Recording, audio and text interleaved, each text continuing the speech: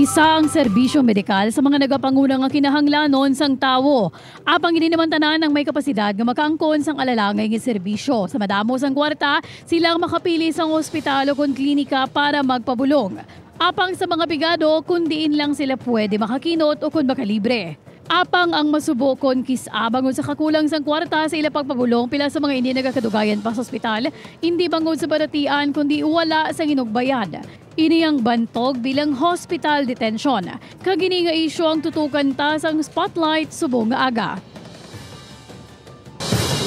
Kaangot sa sininga issue makaupod ta subong aga ang nagdala sini sa igtalopangod sang Iloilo City Council nga si Councilor Rex Sarabia. Good morning, Councilor, kag welcome sa GMA Regional TV Early Edition.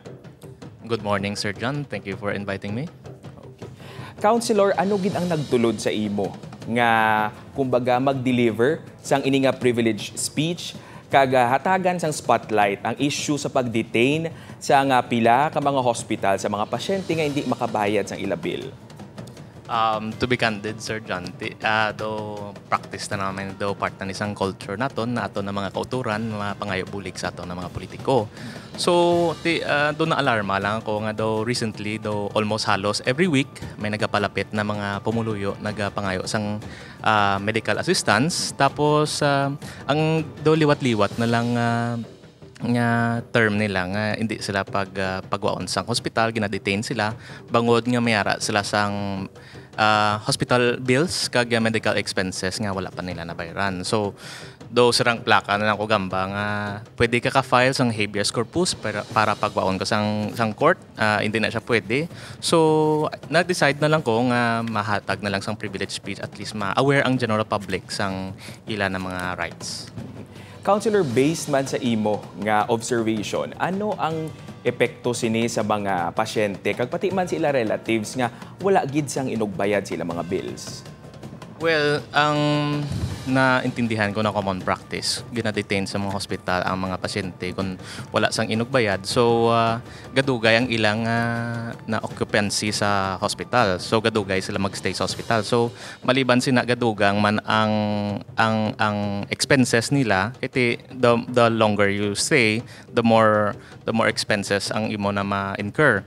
Kag uh, no-notice ko ang ilang adaptive measure ni para ma-address ining uh, concern ga pangutang sila sa mga lender na mataas ang uh, interest rate. So ang gaya sina may financial problem na sa hospital, may added pagid na problem pagid sa when it comes sa pagbayad sa mga utang. Councilor, sa subong mga tinion, kamusta hun taman ang aton mga pumuluyo diri sa syudad sa Iloilo. May ara kita subong makaupod nga magahatag sang iya pamangkot sa aton bisita nga siya Councilor Sarabia. Good morning Sir Christopher Son Pablo. Ano ang imo nga luyag ipalabot sa aton bisita subong aga? Ah, good, good morning, Sir Jano, sa mga tigpalamati kag viewers sang ah, programa ng GMA. Ang pamangkot ko lang tani, sir, kay Councilor ah, Rex Sarabia is bilang bago lang nagwa man sa ospital kag pasyente man no. Ah, na agyan ko man ang kabudlay lalo na kung wala agad sang unod imo bulsa. Ah, ang pasyente ay han kung ma-discharge na siya kag wala gid siya inugbayad kag eh, siyempre kabudlay man sa ospital magtiner ah as uh, ginambal mo na bago lang nga nga while gadugay sila sa nga admitted sa ospital ga dako man ang ilang nga balayran.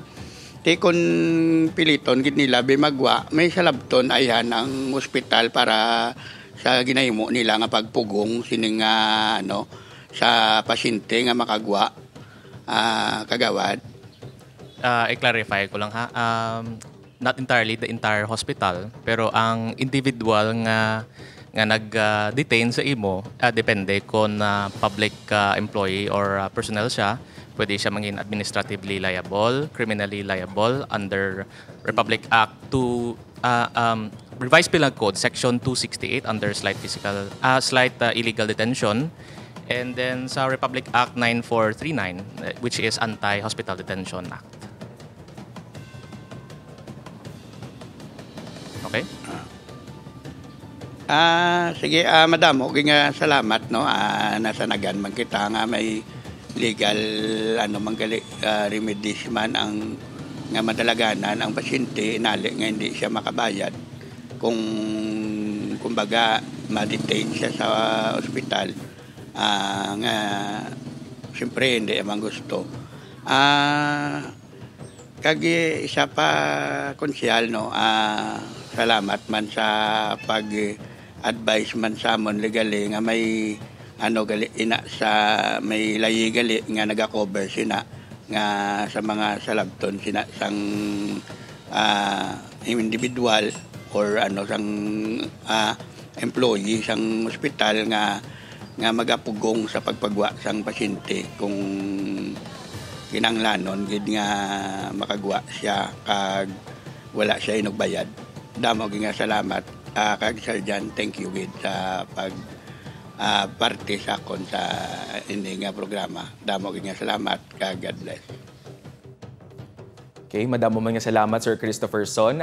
Counselor, anong dapat nga himuon haw sang hospital o kun sang individuals nga instead of detaining a patient nga wala sang inugbayad, may ara pagid sa mas maayo nga tika nga pwede sila obrahon. Okay, uh, let's clarify ha. Um, we need to protect both the institution of the hospital and the patient. So, uh, dapat i-clarify anay sang hospital, uh, ipamangkuton anay ang pasyente kung uh, may inugbayad. So, kung may inugbayad siya sa uh, sa hospital bills, i mayara na sila na designate na social services coordinator nga makabulig si ila nga mag-usher sa mga existing na mga social services sang ah, gobyerno. So may mga ara sa mga medical assistants, medical aids ang gobyerno sa PAGCOR, sa PCSO, sa DSWD and, and the likes. So ah, sa pagsulod mo pa lang sa ER, gina pamangkot na dapat sang hospital as a standard procedure.